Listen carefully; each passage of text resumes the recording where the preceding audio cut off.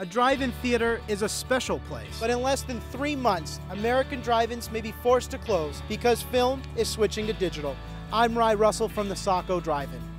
Honda and the Maine Honda dealers want to preserve our history by donating five digital projectors to drive ins across the country. So please vote to save our memories here in Maine. Go to WCSH6.com and click Project Drive In. The Maine Honda dealers want to save a family tradition. Please vote for us today.